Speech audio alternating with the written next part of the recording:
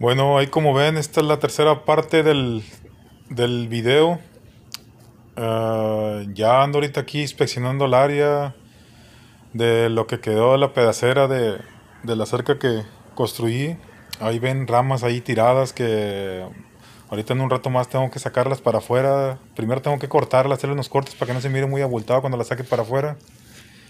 Y pues aquí les muestro cómo quedó la, la cerca que, que construí. Ahí como ven son de 60 pies de largo por 7 de altura. Ahí miren abajo los pequeños huecos que quedaron de las raíces que, que anduve tumbando.